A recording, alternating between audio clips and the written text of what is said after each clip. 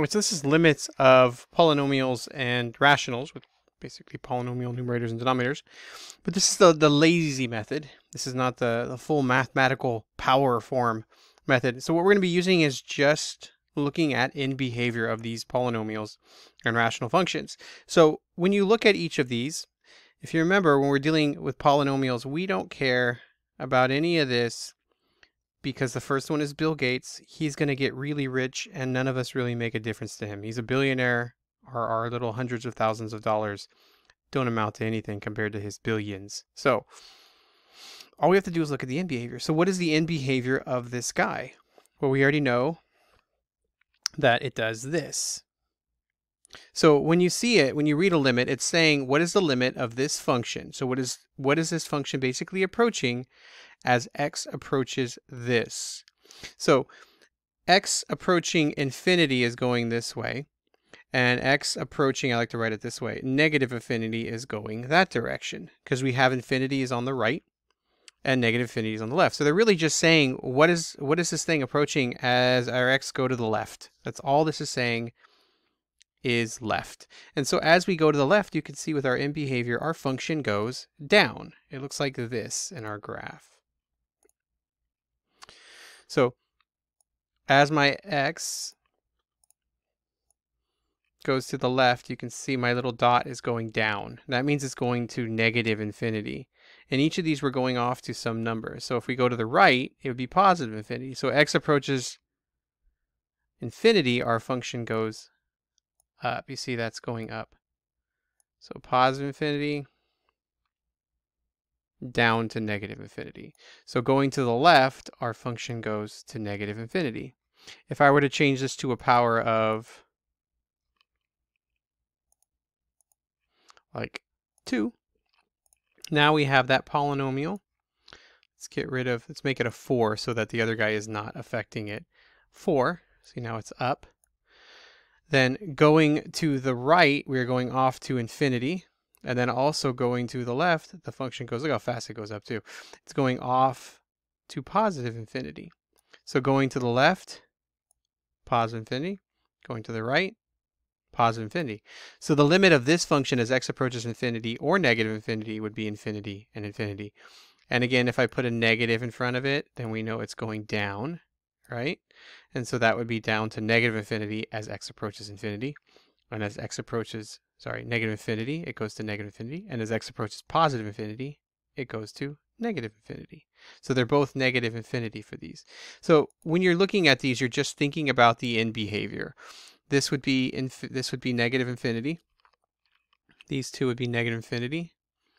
This would be positive infinity. These would be positive infinity. This would be infinity and these would be negative infinity. So if it's going down on the end behavior, then it's negative infinity, and if it's going up, it's positive infinity. That's it. It's the lazy form. So we just say infinity. With rational functions, we think of the exact same thing. But when we're dealing with rational functions, we're looking at the asymptote. And so whatever the asymptote is, the y equals that is our limit.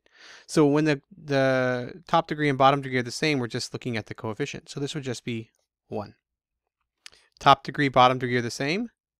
So this would be 5 over 1, which is 5. And so we can see that here. If I switch these over, you can see this is our rational function, right?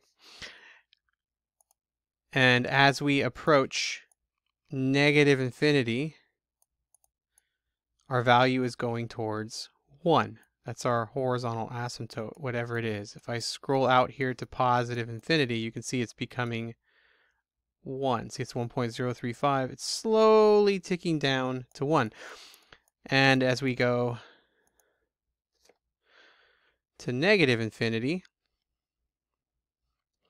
same thing, just this time we're coming up. You can see it's 0.925, 0.926, 0.927. It's slowly ticking towards 1. So whatever those coefficients are, whatever your horizontal asymptote is, that is your limit. So here the same thing. The x squared and the x are the same. So this would just be one third. Doesn't matter if it's going to infinity or negative infinity, they all have that same style horizontal asymptote. And so our graph is just approaching that number, 1, from the left. So as x approaches infinity, it's approaching 1. As x approaches negative infinity to the left, to the right, our function approaches 1 both directions. So if the degree is the same, that's it. It's nice and quick.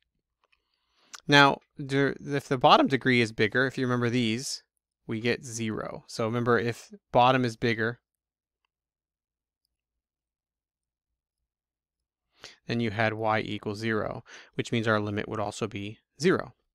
Now, the last two are for limits as infinity or negative infinity, and that's because the top one is bigger. Okay? So if the top is bigger, then all you have to do now is think about it the way it was. This goes off to nothing, and this goes off to nothing. So this will be the limit as x cubed is divided by x squared, negative. And this is as x approaches infinity. So if we simplify this some more, you get the limit as x approaches infinity of negative x. And so now, you actually write it as negative infinity. It didn't get transferred because it's infinity. there we go. If we plug infinity in, we would get negative infinity. So again, this is the lazy form. There's a much more mathematical way of doing this, but we haven't talked about that technique yet. So we're just getting an intro to it. So now if you were to plug this in your calculator, you can see it go off to infinity. So we get this, this graph. And so as you can see, here comes our x. So which direction is it going as x goes to infinity? It's going down. So it's going to go down to negative infinity. So our graph looks like this at the end behavior, like that, and like that.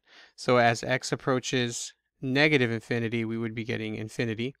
And as x approaches infinity, we would be getting negative infinity, which is what we get. So if you just cross everything off and look at just the leading terms, it will tell you what the answer is. So with this one, we now we're going to a negative infinity. So from the graph, we know it's positive infinity. And so we know looking at it, this would be negative infinity of x cubed over negative x squared, which is the limit as x approaches negative infinity of negative x, just like before. But now when you plug in a negative infinity, it'd be a negative times a negative, which is infinity, just like our graph looks like. So again, you want to just look at the end behavior, and you can use the same technique as above. This one would have been limit as x approaches negative infinity, and then we look at just the leading terms. So if we crouched off the 3, because that's not big enough, we'd get 2x on top and we get rid of the 5, and so we'd get negative x squared. You have to use it. This would then give us the limit as x approaches negative infinity of 2 over negative x. And then we know that that is equal to 0 because the bottom is bigger. But it's just a lot easier to do it. Doing the same thing here, this would be the limit as x approaches negative infinity of x squared over 3x squared. And then they cancel giving us the limit as x approaches negative infinity of one third, which is one third.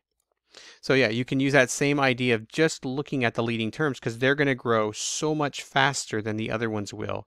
And then when you start plugging in infinity, you can't, but really, really, really large numbers, they're so much larger than the other ones. They really are the Bill Gates. These are Bill Gates and this is us. So they're making like $20,000 a second and we're making $20,000 every six months. So it's not, we are nothing compared to them. They are the gods. Um, but they get big, really big. And so they're the ones that tell us how much money we actually have. Not these. How much, how much, how big the number will get. So you just have to use the asymptotes when you're looking at these. Thank you.